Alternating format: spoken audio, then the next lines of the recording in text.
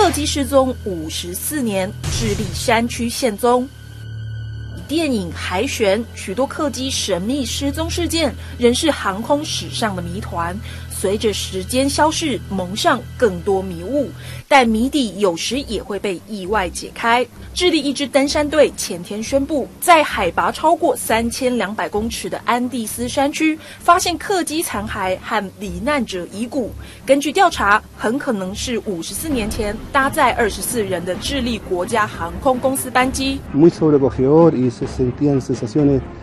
De todo tipo, sentimientos encontrados y también se podía sentir la energía potente del lugar, se podía respirar el dolor。机上有多名顶尖职业足球球星，飞机下落不明后震惊体坛。一九六一年四月三日，顶尖的绿十字球队到客场比赛，随后分成两班飞机返回首都圣地亚哥。教练和八名主力战将乘坐的班机在安第斯山宣告失踪，大批球迷出席葬礼，痛失主力的球队从名列前茅落到倒数第三。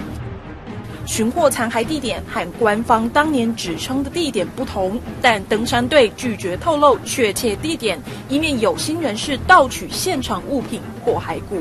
动新闻综合报道。